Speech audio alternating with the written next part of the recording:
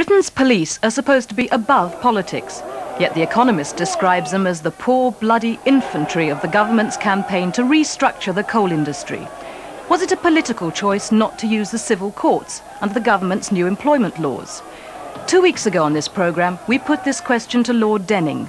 I think that it must have been a matter of high policy, at least ministerial and maybe even cabinet level, not to go to the courts of law, but instead to call out hundreds and thousands of police. Tonight, our reporter Barbara Evans presents the case for the miners that the police have been playing a political role in the strike. The question you should ask is, are we trying to ensure the freedom of people who have done nothing wrong and are acting strictly according to the law, wanting to go into work? And that's what we're trying to do. Now, if you want to support the freedom of people who are trying to prevent those people going into work, you're not supporting freedom. You're supporting anarchy and violence and riot and damage and everything else. You're asking the wrong question. No doubts for Britain's senior police chief. His job, as he sees it, is to help miners go to work. It's been a massive operation, keeping pickets out of Nottinghamshire and enabling a few small groups of miners to get into work in Yorkshire. If you see it as a political confrontation, you might think the police were siding with the government. I give you this pledge. The police have received the government's total support. They will continue to do so. The policing of this year's miners' strike is unlike any strike before. It's the end of a chain of events that started at the Saltley Coke Depot during the miners' strike of 1972.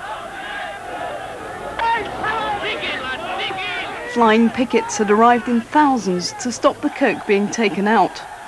To avoid a violent confrontation, the local chief constable shut the gates. It kept the peace, but it led to victory for the miners, the three-day week, and humiliation for the Heath government. There's no doubt that uh, uh, ever since then, the Conservative Party have been anxious never to allow this to happen.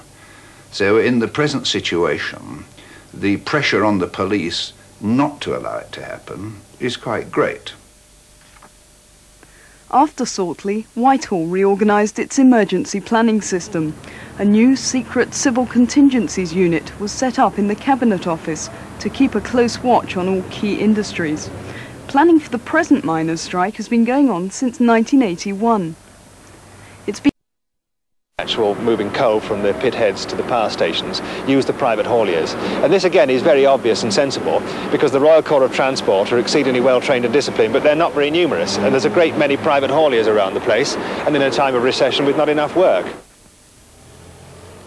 Crucial to this plan has been a centrally coordinated police force. On the 13th floor of New Scotland Yard is the National Reporting Centre. Set up in the wake of the Saltley Gates incident, the centre has transformed policing in Britain. The boards show where riot-trained police support units are deployed in the coalfields. Picketing activity is monitored round the clock and a daily report sent to the Home Secretary.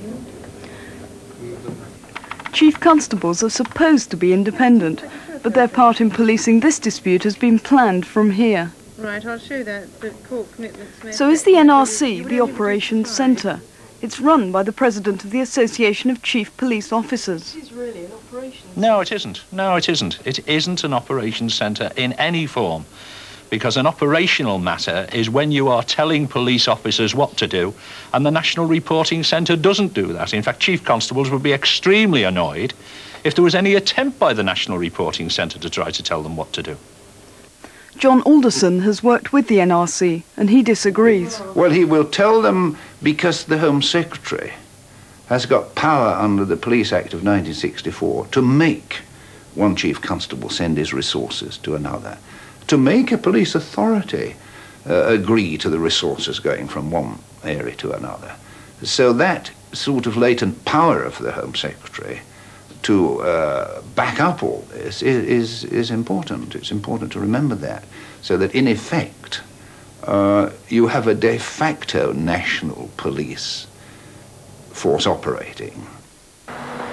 In theory, local police forces, like the one in South Yorkshire, are responsible to police committees, but the NRC has put a stop to that. Up to the 13th of March, we had our normal full con consultation with the Chief Constable.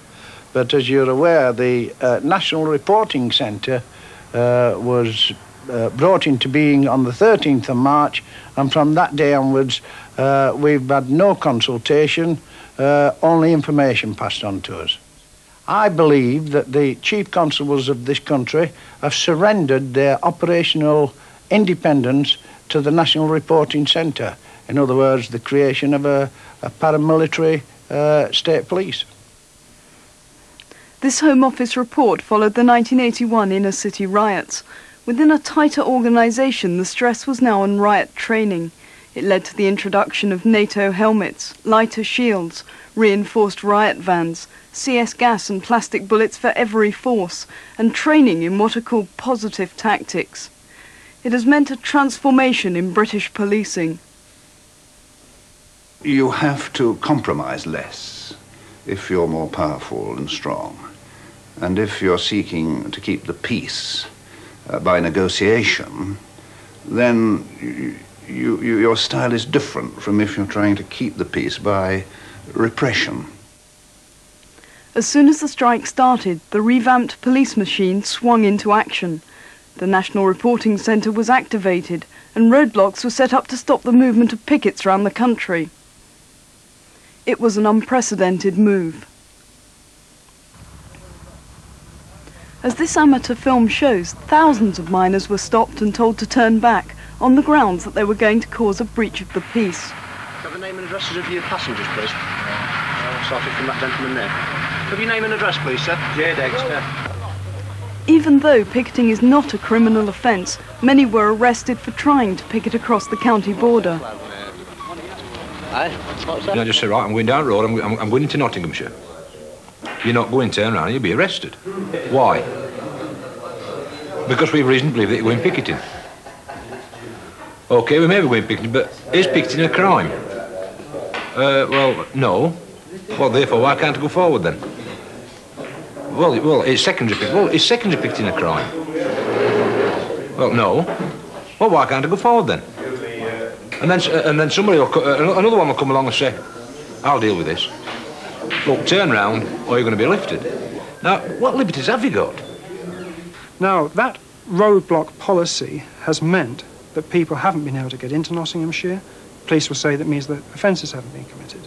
But equally, it stopped trade unionists from attempting to peacefully persuade other trade unionists to join their dispute, not only at the pits, but at power stations, coal suppliers. They've physically isolated a county. We have almost the equivalent of pass laws. You have to prove you're not a miner to get into Nottinghamshire. And you then have people being arrested for nothing other than refusing to turn round when a police officer tells them to do so. Now, the police cannot point to any act of Parliament that gives them the right to do this. They're relying on what they call their power under common law to prevent breaches of the peace. The effect of the mass arrests went further. Blanket bail conditions imposed by the courts kept huge numbers away from picket lines.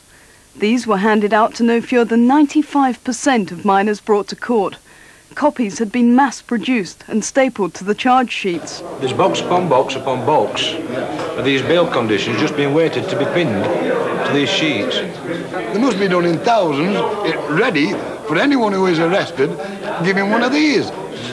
That's to restrict the picket line in order to allow people who are scabbing to go into into a. Yeah, you accept some... it, you see, don't you? I mean, you accept it when what you're in court, court you get your bail, you go out and say, well, they're going to stop me going picketing. But then you think about it, you think, well, when somebody, uh, when somebody gets uh, charged with shoplifting and then gets remanded for reports, why don't he get bail conditions, not allowed to go in any shop in Britain? You know, I mean, it's only, it's forced him. it's that obvious. Mr. It's as plain as nose on your face that it's only happening to us. Picketing is not a criminal offence, and this bail condition is tantamount to an injunction that an employer might be able to get if he went to a civil court, but really stops something like now 6,000 men taking any form of legitimate action to protect their jobs, to help other people, all the time they're on bail. And they may be on bail for three to six months. With Nottinghamshire safely working, we began to hear about a drift back to work. You have to bear in mind, you see, that the National Coal Board, and indeed the government, uh, have pinned their faith uh, on uh, beating the other side, if I might put it that way, by a drift back to work, hoping that those miners who wish to go to work would drift back. And of course, they see the organisation of pickets as a means of stopping that. Equally, of course, they see it as important that the police should guarantee the rights of people to go back to work in order that they may attract more. And if more and more people felt that they could go back to work without uh, incurring the wrath of their fellow strikers, that they would. And therefore, the role of the police becomes critical to that political purpose. No comments. Every morning, thousands of police with horses, dogs, and riot gear turn out to ensure the passage of a handful of working miners. The daily ritual has drawn attention to the strike breakers. Without it, there would have been no public appearance of a drift back to work. But the first duty of the police is to keep the peace, not to help workers get past the pickets. They could have decided, as they did at Saltley, that the best way to keep the peace was to deter attempts to cross picket lines. The commitment of vast police resources to a policy designed to break the strike has been a political choice. The charade of getting a working miner through a, a long line of pickets backed up by thousands of policemen is incredible. It must cost something like 200 or even 300,000 pounds to get a, a, couple of working miners in. And what happens? They can't go down the pit because it hasn't been opened off uh, as we term it. It hasn't been declared safe by uh, NACODS because they're on strike and they're not going through the pickets. And so consequently, we use all that money to take a couple of working miners through their right to go to work. And what's happening? They're sitting down in an easy chair in some office somewhere and going to sleep for the rest of the shift. Despite the massive police operation, the drift back to work never really took off. The strike hasn't crumbled. But in the course of policing it, something else has happened. For the first time, we have seen the police having to resort to some kind of paramilitary style policing, which we've always associated with continental police forces and always prided ourselves on having avoided having to introduce.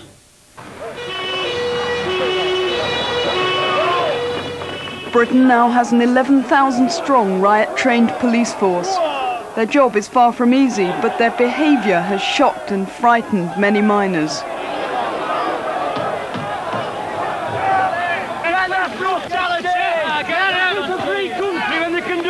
people, is it? Oh, you Tony, you can only film what good parts. No, you come in that bastard camera! Get some fucking bastard!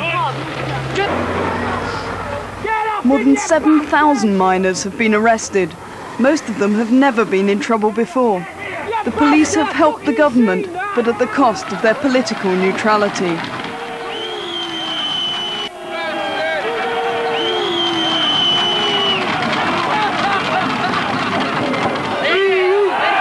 And I had three policemen come up to me and say, you shouldn't bring your children into this environment. And I said, we already live in it. And he said, well, how can you expect your children to respect the police? And I said to them that when they see that the fathers and the brothers were being run down by police on horseback with truncheons and also in riot gear, they won't respect the police. Couldn't believe it. 56 years of age, respected the police all my life, brought my sons up to believe in, uh, ask a policeman and all that kind of jargon. Never anymore, never anymore in my life will I respect a policeman.